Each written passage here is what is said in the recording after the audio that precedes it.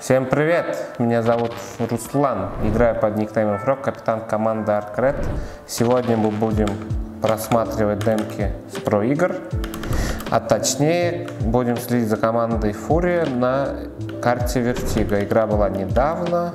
Посмотрим, как они играют. Э, Фурия начинает за атаку. Посмотрим, какой у них план на пестике. Есть э, три пакета гранат, и скорее всего это будет split Б после занятия мида, то есть после занятия А. Ага.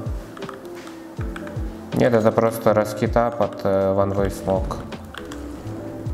Ну, так как все, вы все должны знать, Вертига это карта, где чаще всего террористы заходят на plant. Получается, и пистолетки тоже на плент может заходить. Ну, тут уже просто грамотный заход в плен должен произойти. Особо тут нечего делать. Под один смог. Еще есть один смог и две флешки. Это на потом оставили. Тут уже отыгрывается post-plan situation. Второй раунд мы смотреть не будем, пропускаем. Посмотрим, что у них на buy раунде. Какая задумка на buy раунде. Значит, играют дефолт 1-1-3. Нет, 2-2-1 играют они. 2 на миду, 1, 1 на Б контролят и 2 на... Фури очень любит играть от этого смока ближнего, который падает за этот молик, цемент. Этот смог кидается для того, чтобы человек с АВП, пикавший со sniper nest а, не убил рукав и вообще в целом у него не было видения. И также для терроров этот смог хорош, потому что под него подходят и просто ждут ждут момента, когда можно будет открыться, пикнуть. То есть, когда, например, люди прошивают смоки или даже в этот смог, там не всегда получается так, что тебя убивают. То есть ты хорошо можешь стоять, и когда у, у людей там заканчивается патрон, ты можешь просто открываться. Еще хорошо, если твой человек, твой тиммейт будет прошивать в этот смог, то есть байтить на себя как-то, ну не просто шить, куда попало, а, например, шить в сторону кристалла или девайса. То есть внимание отвлекать на себя. Ты просто вот стоишь в этом смоку, ждешь, можешь заходить флешку тиммейта, то есть но также ты должен понимать то, что как и ты стоишь в этом смоку, так и КТшник может пройти тебя просто и запушить твоих тиммейтов, поэтому вы должны хорошо коммуницировать в этих моментах и, и говорить. То есть особо задумки нет, вот они дали энтри, сейчас еще арт наверняка убьет кого-то. Да, он убивает нитро, и раз, получается ситуация 3 в 3, 3 в 2 уже. Э, Винни займет аплен, так как они знают, то, что остальные два игрока это Б-опорник и Б-хелпующий. Винни займет э, максимально сейфовый аплен, то есть раскинет что-то. Вот он дал молик на 9, ждал своих тиммейтов, которые ему кинули смоки направо-налево, и сейчас будет просто установка бомбы, и потом розыгрыш postplant situation а. То есть это уже можно... Ну, они вот проиграли. По стрельбе не зашло и этот буст может быть был лишний. Э, значит, еще один раунд buy. Теперь, кстати, вот арт покупает АВП не часто за терроров. Многие команды, то есть э, за терроров не покупает авик. Но вот э, арт покупает АВП, посмотрим, что он с ним сделает. Значит, он бежит либо в ледер, либо на На Значит, он просто будет контролить нет, он сыграет под ванвей с Авиком. Почему бы и нет? Тоже хороший такой вариант. Еще Фурия очень... У них есть несколько занятий РМП, то есть э, они играют либо от смока от малого цемента, у нас это называется артом, либо от смока на э, вот этого рукаве, который кристалла. Этот смог э, чаще всего используют КТшники, кидается он с пяти, то есть хелпующим игроком, третьим игроком на он дает этот смог, чтобы на, э, КТшник прошел через него и встал вот э, в этот угол и смотрел диагональ. То есть э, если вы будете стоять здесь, есть большая вероятность того, что вас не прошьют, Так что вы можете быть спокойными, если вы подаете упор этой балки. И поэтому Фурия, они любят сами откидывать этот смог, то есть э, чтобы КТшник вышел из него, и когда они это делают, у арта не АВП, он встает на эту позицию, то есть проходит сюда по первому респу, встает сюда и смотрит, смотрит в этот смог, и нижняя часть, то есть он может увидеть ноги человека, который будет занимать кристалл. Поэтому фури вот так вот они батят, но сейчас уже к этому, скорее всего, привыкли и не выходят в этот смог. Но так тоже можно занимать, потому что вас не убьют. Потом, когда кончается смог кристалла, вы можете сами уже дочекать рукав, то есть ближнюю позицию на рукаве, и выйти в него под флеш, пикнуть уже под краном. То есть вот это вот так работает. Ставим скорость нормальную, смотрим, как дальше они идут. То есть у них э, всегда не забывайте на вертиго кидать молик на цемент. Это очень важно, потому что если там останется чел, и вы его не чекнете, он просто всю команду вашу убьет. Вы, когда идете втроем, ну или вчетвером, вы должны общаться, у вас должно быть понимание, кто какую сторону смотрит. То есть, если у вас первый смотрит рукав, вы должны посмотреть ему под краном, пикать или распикать вот эту зону. Не должно быть такого, что все люди смотрят э, одну позицию, ну, например, вот эту, а, а про рукав вы как будто забыли. Потому что чел, чел КТшник может попросить флеш с плента и убить вас всех. Ну, не всех там, но многих убьет.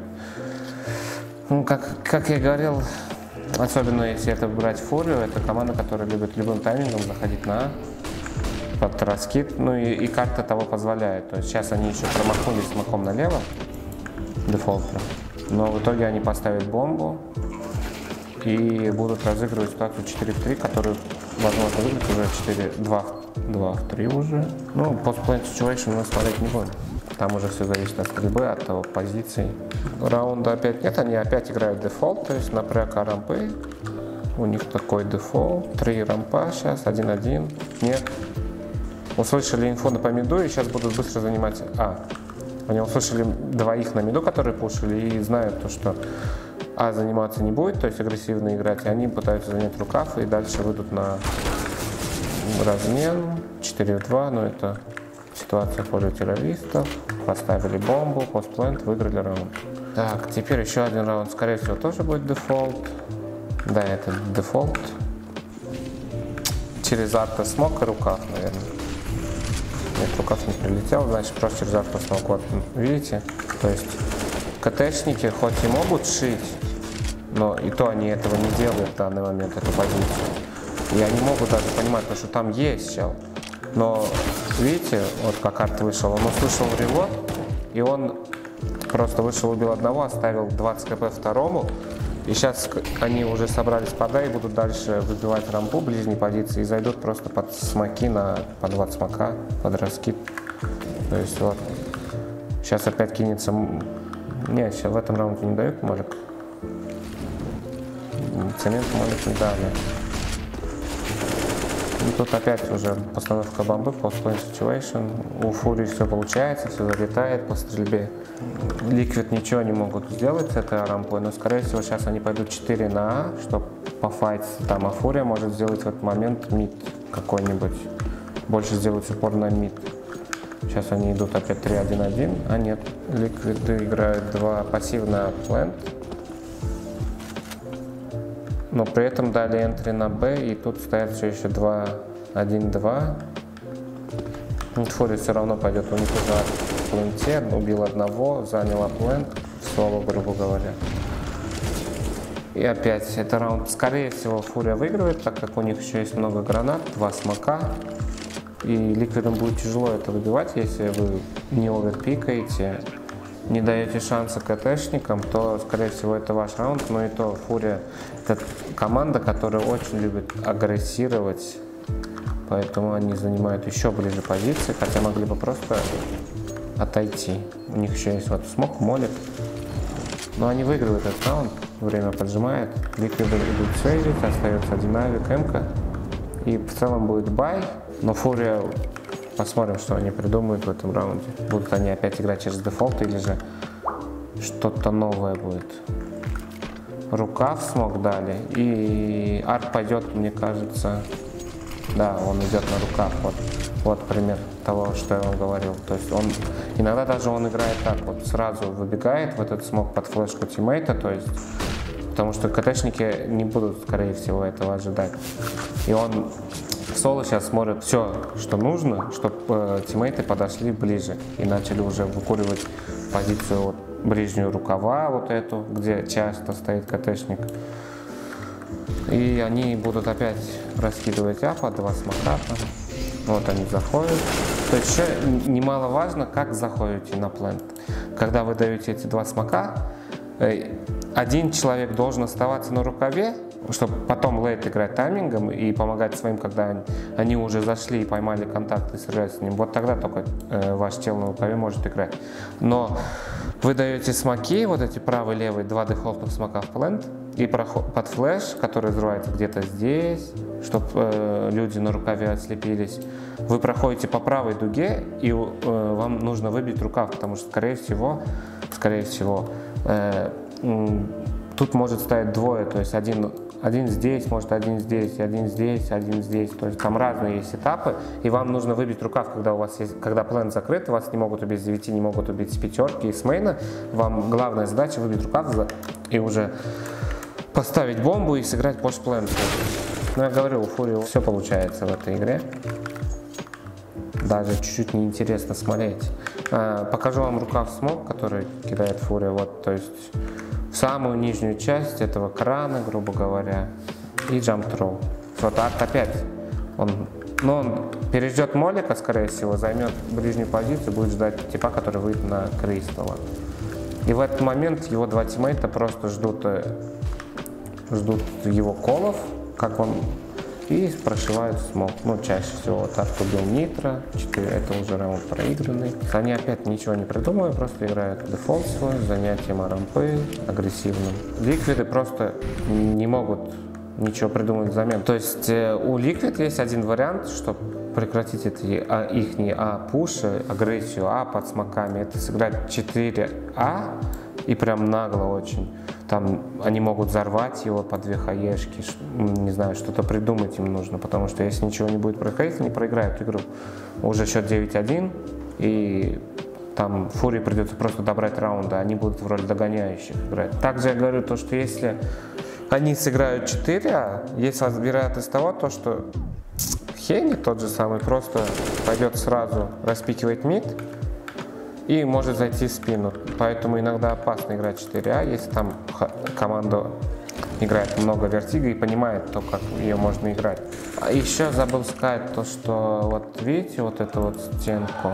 От арта правая эта стенка леса вы, когда идете в рукав, вы не должны к ней подходить, потому что там не пофиксили еще, там есть баг, то что твой, ваш рюкзак, моделькин рюкзак, будет видно типу, который стоит вот за этим смоком, или там нет смока, то есть который стоит под малым цементом, он сможет вас увидеть, и вы будете там изи фрагом, и вас либо прошьют тогда, либо он сможет подняться на этот цемент и пикнуть вас сверху, если у них есть КТшники откинули смог на рампу.